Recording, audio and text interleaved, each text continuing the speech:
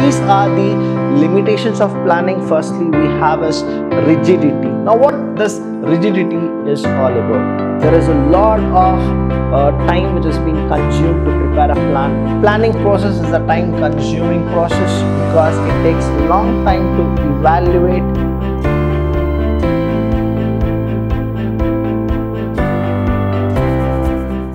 Hello everybody, a warm welcome to one and all. I'm Abhilash Chandra from the Department of Commerce and Management in Vidhyaashram First Grade College, the Temple of Excellence. Welcome to the next session of planning. Here, you need to understand that the last session I spoke about the merits or advantages of planning. Now, we need to know that planning also have something called limitations. Now, what exactly the limitations of plannings are?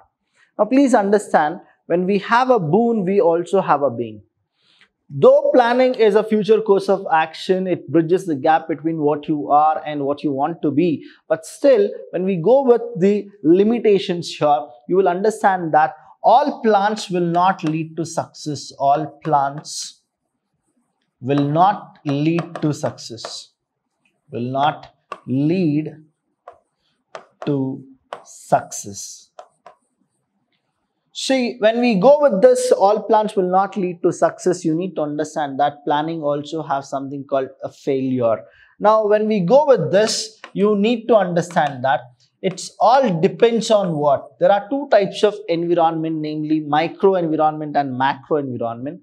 Planning will never play its role when there is a dynamic uh, nature or dynamic things which will happen in the course of action. The reason is it is not uh, ready to accept the immediate changes. That's why we say planning is rigid, right? So planning leads to rigidity. That is a time when we understand that the plan which we thought it is flexible, it is convenient for us, but after it is implemented, you cannot alter it because it becomes rigid. Planning may not work. See, please understand this may work as well as may not work in dynamic environment when we understand dynamic environment planning will be uh, very good if we go with the entire total plan which we have done. But if some factor affects it say macro environment affects it now there will be a kind of a jerk where planning will be a harm and we cannot continue those plan. Say i'll give you an example here India and uh, Sri Lanka. They are into import and export. And the person who goes with this import and export, uh, an Indian who have planned that within uh, two days will do the shipment from India to Sri Lanka. Now the planning, everything is done, right? But there is a call for a tsunami or there is a problem within the uh, climatic conditions. Now what happens, whatever you have planned, it cannot be fruitful the reason is what? Because of the dynamic environment, planning really fails. It reduces creativity. Now understand the word creativity. What happens here is, the all the plans, whichever happens here, now it is done by the top level management. Now the top level management will not take the considerable advices or suggestions by the middle level as well as the supervisory level. When they don't take that consideration or the considerable suggestions or advices, what happens is they suppress the people who are experienced than them. So probably the person who's in the top level may be a, young, a younger CEO or younger CFO. Now those people, they lack something called experience but the people who are in the middle level who are serving that particular company for uh, 50 years or 20 years now what happens is when they don't take it the planning will actually reduces their creativity.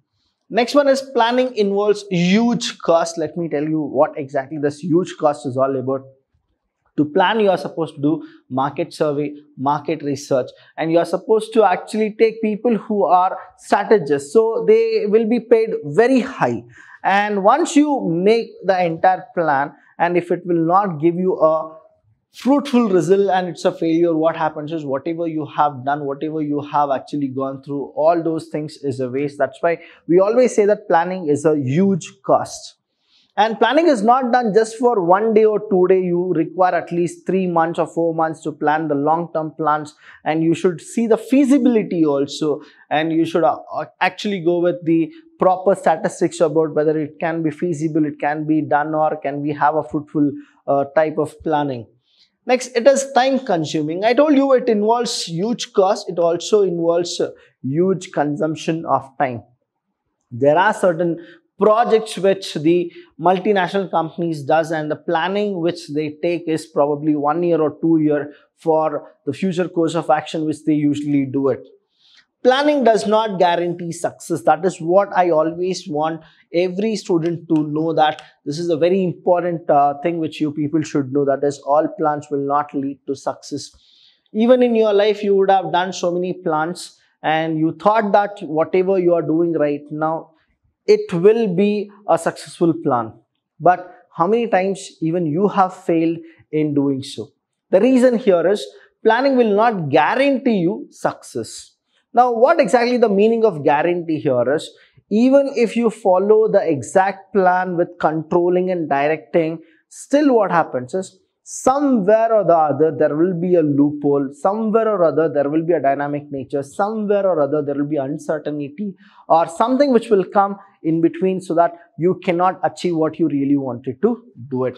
And last one is this you need to accept it saying that planning lack of accuracy that is, you cannot go with the exact, whatever you plan, will you get the exact? No, you may get more, you may get less, but you will not get the exact. So these are the limitations of planning. Firstly, we have as planning leads to rigidity. Planning may not work in dynamic environment. It reduces creativity. Planning involves huge costs it is time consuming process. Planning does not guarantee the success. And lastly, we have is lack of accuracy. So we'll check one by one what exactly these things always explains us. The first one here you need to know is all about rigidity. Now what this rigidity is all about? Now once plans are made to decide the future course of action the manager please understand here who will be the person who will do all these things. That is he will guide and he will direct all the people is the manager. When we go with this planning you need to understand is what the top level the middle level and the supervisory level top level are the one who will plan but the real person who will get the work done is the middle level. That's why we need to always understand what exactly the manager does. Manager may not be in a position to change them. The reason is it is done by the top level management and manager need to execute it.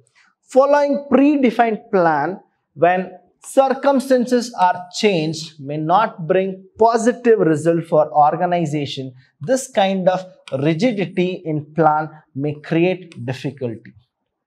Now until unless you plan for anything what happens is the steps in planning which i have done in the session 2 and session 3 if you understand those sessions you will get to know. Now whenever we go with planning what happens is we are supposed to first identify what is the objective which we are supposed to do and then we are supposed to develop our premises. After that you need to identify alternate course of action. When you find the alternate course of action planning is really flexible. When you go with alternate course of action and then you require a lot of uh, time for evaluating and selecting once the selection is done, now what happens is the rigidity grows. Now here you need to understand once plans are made that is you have selected the plan and now you are ready to implement it to decide the future course of action the manager may not be in a position now there is nobody who is in a greater position where they can change anything if something happens. Now after selecting the plan when you implement it and follow up the actions, what really happens is you find that there is a uncertainty which gonna happen say two or three days later. Now you cannot change the entire plan. The reason is what? The budget is allotted, people are involved, cost is there, then you have done all the physical resources and everything is done. Now it is only the thing is the plan what you have planned should be executed because of uncertainty and risk. Now what happens? You cannot change it because of its rigidity nature. Next one we have is planning may not work in dynamic uh, nature or dynamic function. So you are supposed to know that the way dynamic comes here is it's all because of two factors. One is the micro environment and uh, one more is our macro environment. So we have micro versus the macro. Now here micro when I say within the company you can control it. If it is within the company you can actually control it but if it is outside the company like the market you really cannot control you really cannot really can't control.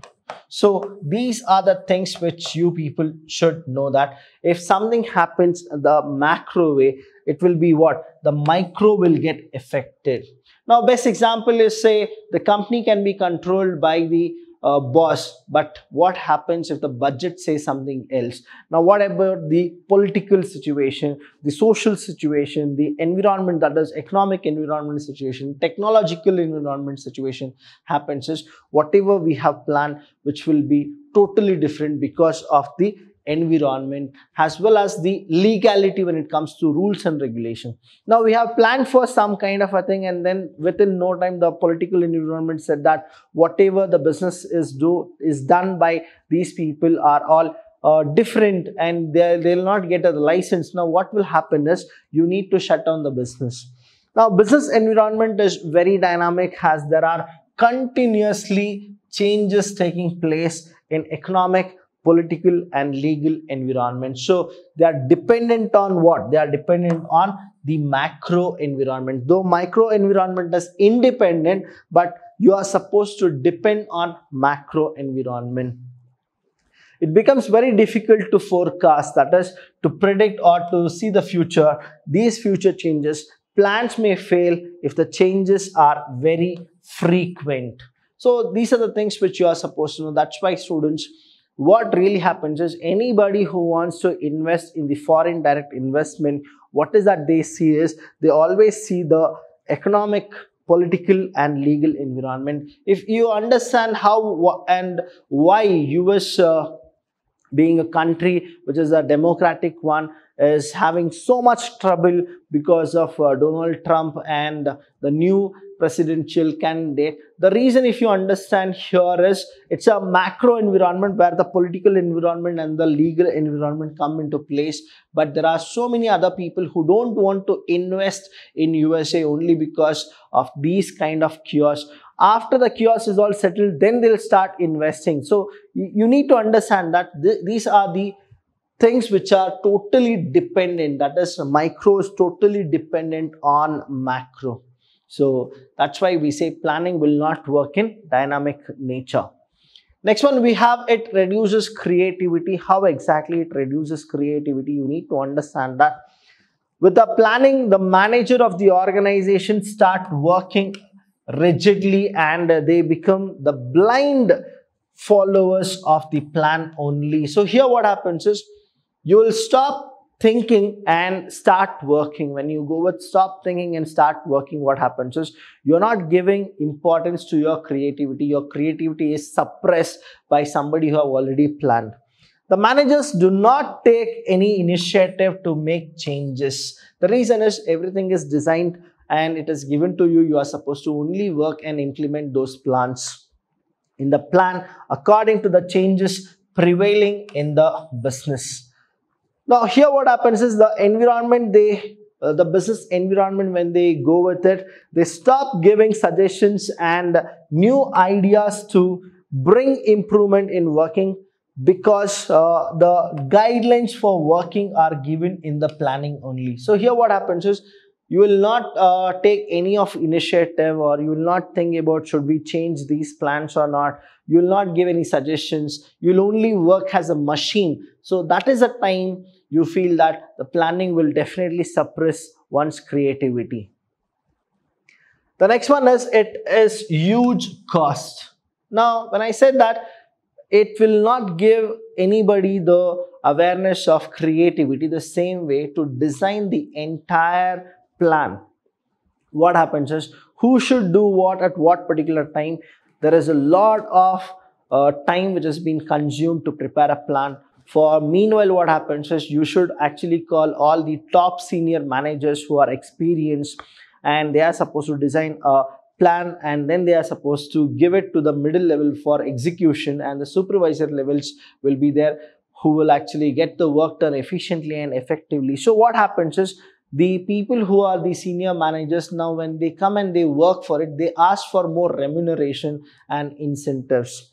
So planning process involves a lot of cost because it is an intellectual process. That is the brain game is what it is. And companies need to hire the professional experts. See when they hire the professional experts to carry on these process along with the salary of these uh, experts the company has to spend lot of time and money to collect accurate facts. Though accuracy is not there at least you will get a raw data which you will be converted into a primary data and a secondary data and the figures will also be proper. So it is a cost consuming process.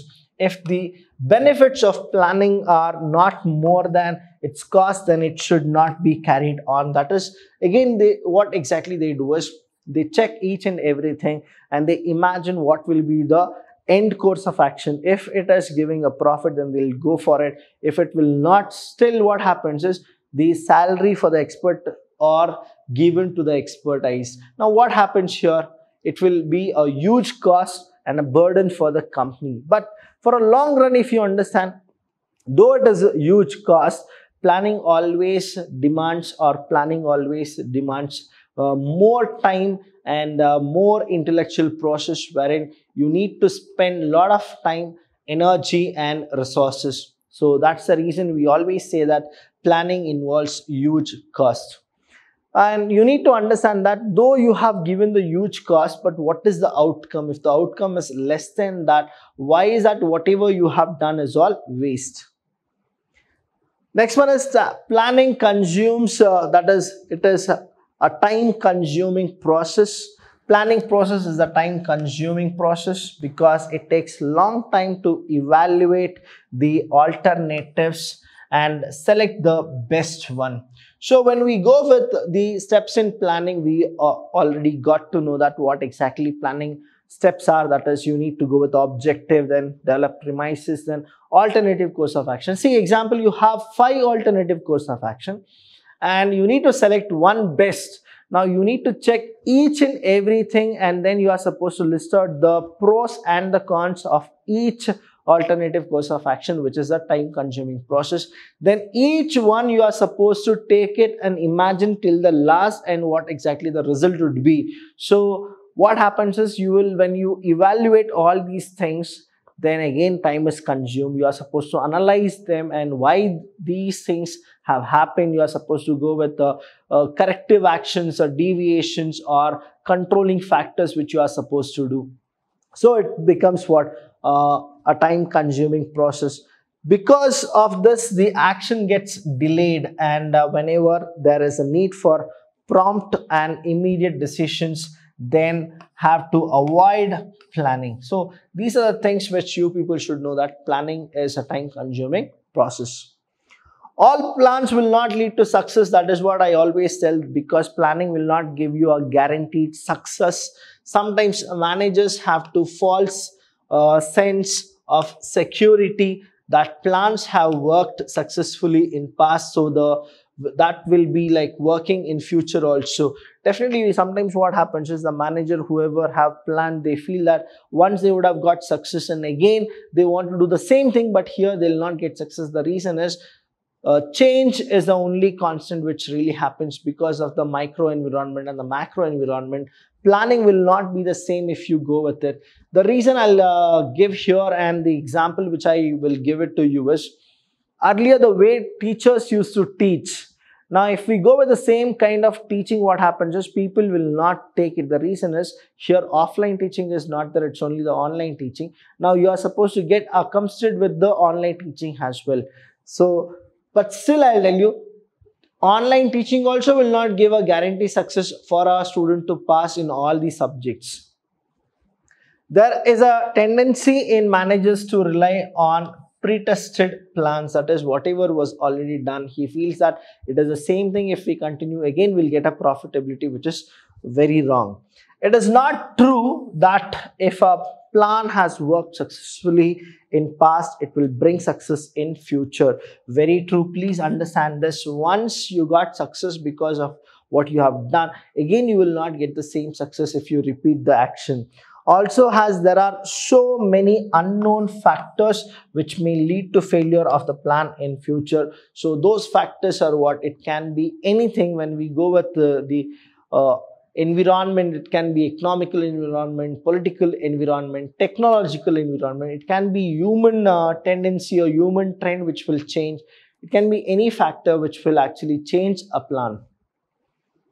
And lastly we have is lack of accuracy. Yes in planning we are always thinking in advance and planning is concerned with future only and uh, future is always uncertain. In planning many assumptions are made to decide about future course of action but these assumptions are not 100% accurate.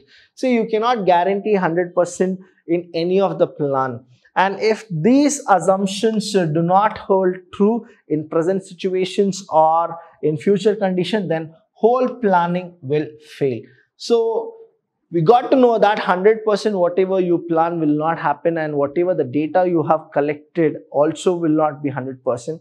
So here the thing is in planning we are always thinking in advance and planning is concerned with future only and future always is uncertain. When future itself is uncertain, how can you predict or you can actually go with 100% accuracy? That is like uh, you don't know what's going to happen but you are just giving an assumption saying that this will only happen. But it is what? It is a limitations of planning. Hope guys you enjoyed this video. If you have uh, understood this please uh, like and share and i'll tell you what it is the limitations and the advantages is definitely a short question in your main examination so please go through all these videos and understand thank you so much and uh, one more thing which I have brought to your notice is there is one more uh, called external uh, limitations. Now, what exactly the external limitation is also, please understand. External limitations of planning, here we have, this I have listed that is one, two, three, four, five things only for you people understand. One is natural calamity.